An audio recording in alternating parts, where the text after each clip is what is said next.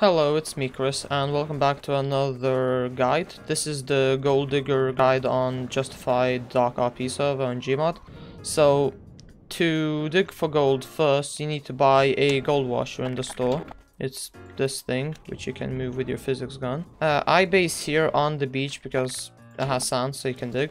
Uh, first, it's recommended to at least have, I would say, 75k or something about that to um, start this job as that's where you get much more money. So buy the extension for the gold, uh, for the gold washer, the super pump to increase the speed and also the capacity as that's really useful. When you have this gold washer, you need to buy 9 rubber mats. This is what's gonna catch the gold for your, uh, I mean, your rocks. I'm bad at making tutorials, just saying. So with these rubber mats, make sure to put it on this bit of the machine as when you put it here, it, it doesn't really work.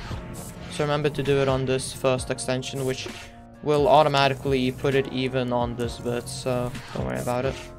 So you put these rubber mats on. You can probably right click so it doesn't move all around. Fam, what just happened? A rubber mat just, what?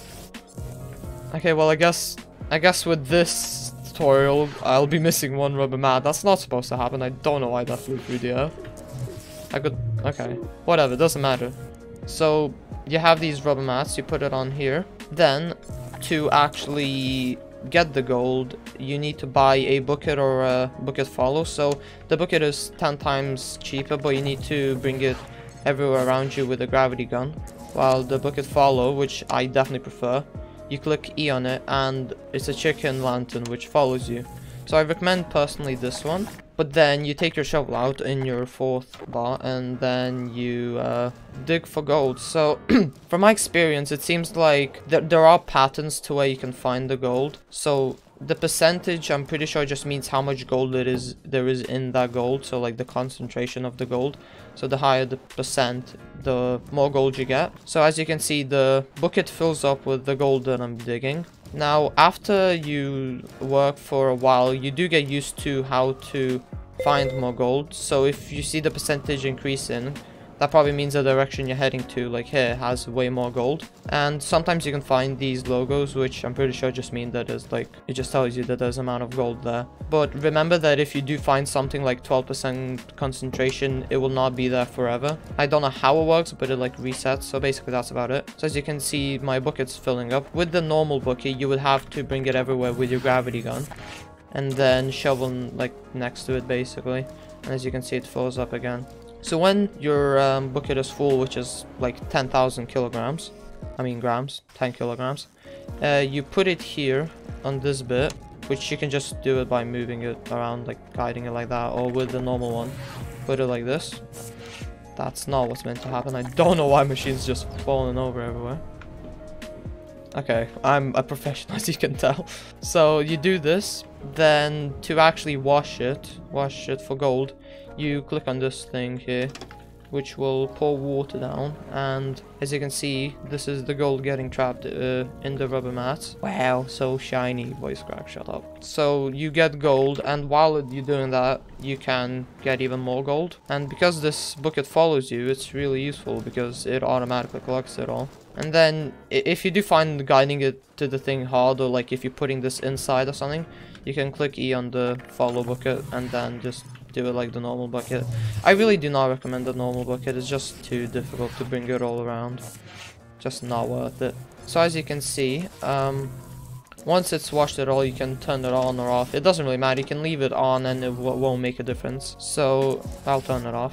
So then you can see there is gold on the rubber mats. Each of these rubber mats can hold a maximum of 500 grams. So to get get them from the wash, you click E on them all. So when they're off the washer, you can click E and... What is going on today? There's just glitches after glitches. Normally, none of these have happened when I was gold, doing Gold Digger, but basically, you click E on it and it drops a jar of gold.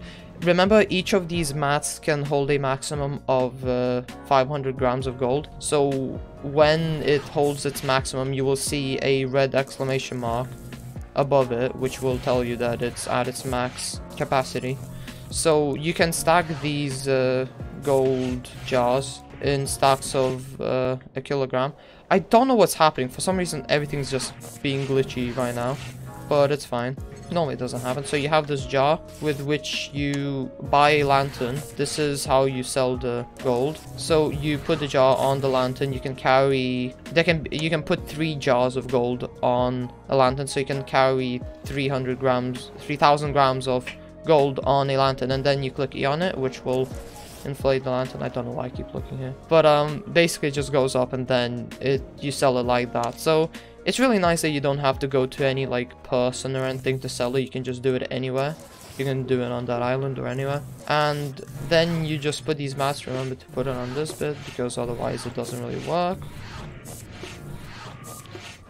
And basically that's the tutorial to the gold miner. You can in the current state, you can get quite a lot of money. I've gotten quite a few million just from the gold digger. So anyways, uh, thanks for watching and see you next time.